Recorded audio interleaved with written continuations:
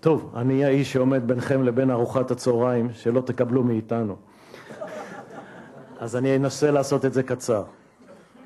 אה, אני מאוד שמח שגבי אה, דחף את יום העיון הזה על הגז והנפט, כי אני די מתוסכל. כל הקולגות שלי לשעבר, אה, גבי אשכנזי, מאיר דגן, גלנט, אפי איתם, גיורא איילנד, כולם קודחים נפט וגז, ואני היחידי שקודח לכם במוח. אז אני יכול קצת להתעסק עם נפט וגז היום ולהרגיש יותר טוב. אה, אם כי אני מרגיש פה מאוד טוב. אז אני מודה לגבי ולדניאל שארגנו את היום, אני מאוד מודה אה, לכל הדוברים. ואיפשהו באמצע יום העיון, אני הרגשתי שחבל שמצאנו גז ונפט, שזה מביא עלינו רק צרות. חונקים אותנו, פוגעים בנו, לוקחים לנו את הכסף. אה, אני מאלה שחושבים שהמציאה הזאת, העובדה שהפסקנו לכעוס על משה שהביא אותנו לארץ בלי גז ונפט היא דווקא דבר מאוד טוב למדינת ישראל. החל מהעצמאות הכלכלית, אה, המשך בעצמאות של האנרגיה, בגיוון מקורות האנרגיה. אף אחד לא יחנוק אותנו אם הוא יפגע לנו בצינור אחד, יש לנו הרבה מאוד דברים אחרים, אבל עוד יתירות. ואתם יודעים מה, מצא חן בעיניי מאוד כל מי שהציג את הכפלת השטח של מדינת ישראל. מאוד מצא חן בעיניי, אני חושב שצריך לשמוח מזה. עכשיו, אה, לא הוצג פה באופן מקצועי האיום. הוצגו פה אה, הפחדות גדולות, ויש איום. אין ספק שיש איום, צריך לעשות לו ניתוח מקצועי. אני זוכר שהייתי במחלקת מבצעים של חיל האוויר, היה איזה פרדוקס כזה. כל פעם שהיו מציגים פצצת מרק 83, זו פצצה של אה, אלף קילו, אלף? לא, 500 קילו, אלף ליברות, נופלת על חדר עם יהודים, שמונה הרוגים. נופלת על חדר עם ערבים, 0.5 הרוג.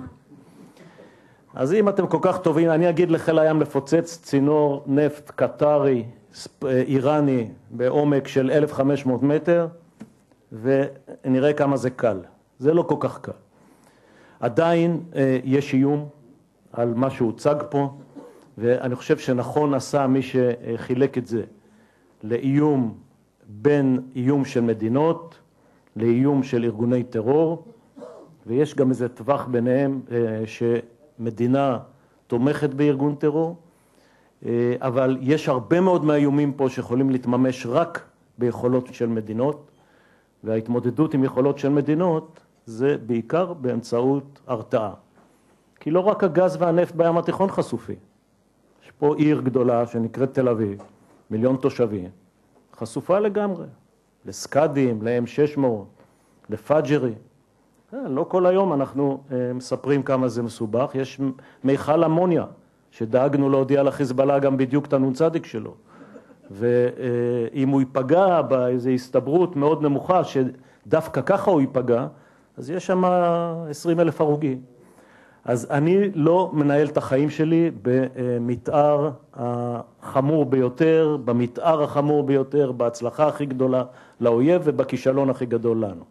ומצד שני אני לא מתעלם מאף איום, ובין זה לבין זה אה, צריך לעבוד. מה השאלות ששאלנו את עצמנו אה, לפני יום העיון הזה? שאלה אחת בעיניי היא יחסית פשוטה וגבי יענה עליה בפתיחה. מי נושא באחריות להגנת המערך הזה שיפיק לנו את ה-260 מיליארד דולר, אה, או כמה שיהיה מחיר הגז, זה לא ברור כמה בדיוק, אבל זה סדר הגודל.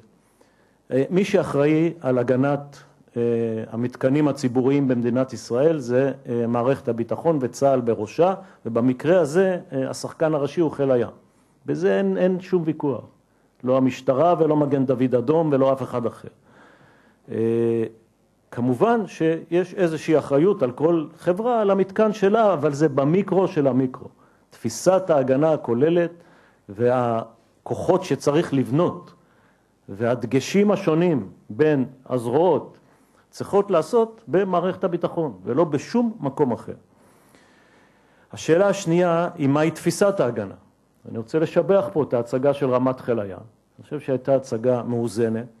גם היא לא אמרה שאנחנו נגן במאה אחוז על הכל, אבל בתפיסת ה-80-20, בתפיסת ההתמודדות מסוימת, בגישה מסוימת מול מדינות ואחרת מול ארגוני טרור, בראייה הכוללת שהציג פה ירון, קודם כל מעטפת מודיעינית. מישהו שאל קודם מי יהיה אחראי אם יקרה משהו. אני מרגיע אתכם, תמיד המודיעין אשם, לא חשוב מה יקרה. דרך אגב, ירון ואני אמורים לשבת ביחד באותו תא בכלא הטורקי. כי לא חשוב מי אשם, מי החליט, מה קרה, מה הייתה המדיניות, מה הפעילו הכוחות המבצעיים, המודיעין אשם. הטורקים טובים את שנינו. אז צריך להיות מודיעין טוב, פותר 80% מהבעיות. עוד בכלל לפני שמחברים את הרובוט התת-ימי לאונייה עם המטען בתוך החבית. אה, אי אפשר לעשות את זה בלי שיוצרים הרבה מאוד מודיעין ואפשר לעצור את רוב הדברים. דבר שני, הרתעה. הרתעה. אתם יודעים כמה דברים חשופים יש אצל האויבים שלנו? מי שמתחיל לשחק, ודווקא בראש הציג את זה מצוין, איך ב-1970, אחרי שהם נגעו באיזה אסדה, נגעו להם באיזה אסדה, וראה איזה פלא, הנזק הכי גדול שנגרם למתקני הנפט בים סוף, אה, במפרץ סואץ, אנחנו עשינו, עם טיל הוק. אה, הכוחות המגינים צריכים להיות ורסטיליים ולא פתרונות תפורים אה, אחד לאחד, אלא הם צריכים לדעת להגן בצורה ורסטילית כאשר מתחלפים המתקנים, כאשר הם זזים. אנחנו צריכים יתירות, אנחנו צריכים שילוב נכון בין ההגנה הנקודתית להגנה המרחבית, ובהחלט מה שהוצג פה על ידי חיל הים, אני חושב שהוא מודל נכון. כל הנושא של הגז והנפט, כי זה לא רק הגז בים, אני מקווה שזה יהיה גם הנפט מפצלי השמן ביבשה, שהוא באמת יותר נפט, אם מה שהגיאולוגים והמשקיעים חושבים, שם באמת יש יותר נפט מה שבסעודיה. כל הדברים האלה יחייבו אותנו לחשיבה מחודשת. חשיבה מחודשת אינטרדיספלינרית. אי אפשר יהיה להסתכל על זה רק בראייה הצבאית. והקשר בין הכלכלה לביטחון הוא היה ברור לכל מי שיש לו משהו בראש בין האוזניים, הפעם זה הרבה יותר חמור. הנושאים המשפטיים שהוצגו פה היום בשני משכים, הסוגיות איכות החיים ואיכות הסביבה, הצדק החברתי, הכל מחובר ביחד. וזה האתגר שלנו. זה האתגר שלנו פה במכון, שאנחנו לא חשודים אה, לא כטייקונים, לא כאינטרסנטים של חיל הים, לא אה, כאינטרסנטים של איכות הסביבה, אלא באיזושהי ראייה כוללת להסתכל על הנושא, וזה אחד הנושאים לתוכנית העבודה שלנו לשנה הבאה.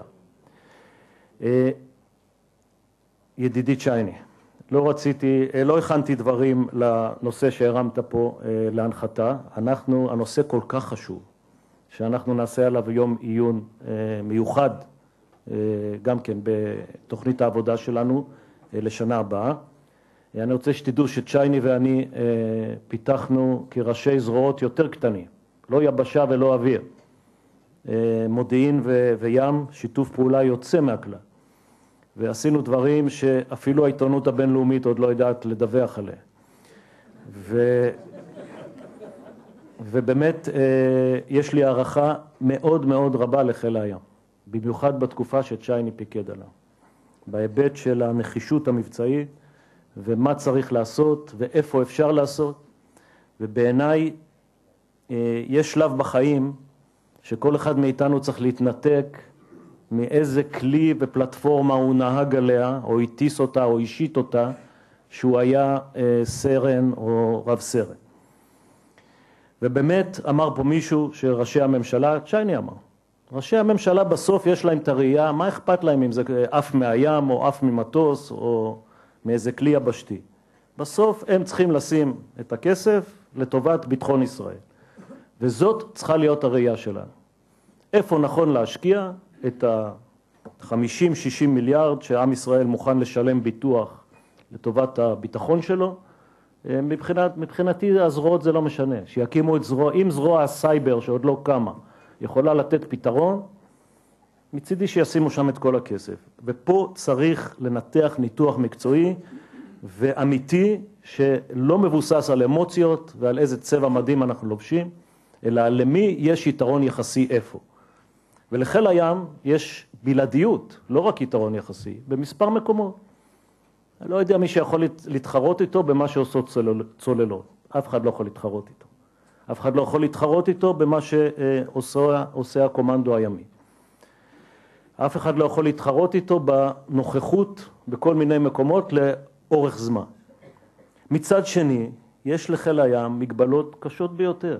קשות ביותר בנושא ורסטיליות, בנושא אזורים שהוא אה, מטפל בהם, בנושא אה, הרלוונטיות שלו לקרבות מסוימים, ובסוף בנושא מהירות ובולטות. הוא מאוד איטי, מאוד מאוד איטי, לא יכול להתחרות בשום כלי אווירי, ולא יכול להתחרות בטח בסייבר, ושהוא נוסע במהירות האור. והחוכמה היא לנתח איפה היתרונות והבלעדיות של חיל הים, ואיפה פחות, ואני לא בעד חיל הים רק של צוללות, כי עדיין יש דברים שחיל הים בהם הוא יותר זול. הרעיון להפעיל אש מהים בצורה אסטרטגית הוא רעיון נפל. אתם יודעים למה? תשאלו את אימא שלי. אה, מי שדחף את זה זה שטייניץ. אבל כל מי שיודע חקר ביצועים מינימלי, מינימלי, ועושה את החשבונות, יודע שאפשר לסייע לאוגדה שנוסעת על כביש ראש הנקרה ביירות, אבל לא הרבה יותר מזה. אי אפשר להשיג הישג אסטרטגי מול מערך אסטרטגי חשוב של האויב באמצעות אש מהים, פשוט אי אפשר. זה יקר מדי, זה לא חודר את מה שזה צריך לחדור, זה לא מספיק מדויק ואין לזה מודיעין. עכשיו שטייניץ שהיה התומך הגדול ביותר של זה, ופה אני בא לאימא שלי. אימא שלי תמיד אמרה לי, אתה, אה, עמוס, יש לך אבא מדהים, בשביל זה התחתנתי איתו. אתה תשמע ממנו תורה סדורה. כמה אידיאולוגיות מדהימות. אבל מתי תדע אם הוא מתכוון ברצינות? שיחלקו את הכסף ושישימו את האנשים. ושטייניץ נהיה שר האוצר, ובמקום לבנות זרוע אסטרטגית שנייה, אני מאוד בעד זרוע אסטרטגית שנייה. אפילו אין כסף לקיים את הזרוע האסטרטגית הראשונה של, של צה"ל, של מדינת ישראל. אז אם יש לנו מספיק כסף ושר האוצר מוכן לתת אותו, אני בעד שנקים עוד זרוע אסטרטגית בחיל הים, אם זה בכלל פיזיבילי. אה, אני רוצה להפנות תשומת לבכם לעוד משהו, למרות שאולי אני לא אהיה פופולרי בחיל הים. תראו, חיל הים היה היחידי שלא אה, אכזב ב-73. היה, עשה ניצחון מדהים. האם זה השפיע אסטרטגית על תוצאות הלחימה? על מה, לאן מדינת ישראל הידרדרה אחרי 73? למרות הניצחון של חיל הים. מדינת ישראל איבדה עשור שלם, כלכלית, אסטרטגית, מעמדה הבינלאומי, אחרי שהיא נכשלה ב-73 למרות ניצחונו של חיל הים. לעומת זאת, ששת הימים נחשבת כאיזשהו ניצחון אדיר, וחיל הים שם לא היה, אה, לדעתי, אה, סיפור הצלחה. ולכן אני חוזר ואומר, נעשה על זה יום עיון אה, מיוחד, אני מאוד שמח שצ'ייני בא. אה, הנושא הזה שווה ניתוח מקצועי ולא אמוציונלי. תודה רבה ובתיאבון.